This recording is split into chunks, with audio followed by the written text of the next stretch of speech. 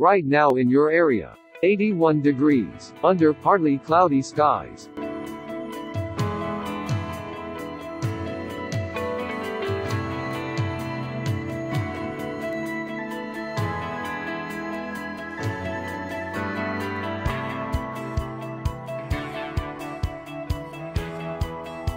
Tonight, thunderstorms early. Potential for severe thunderstorms. Low, 51.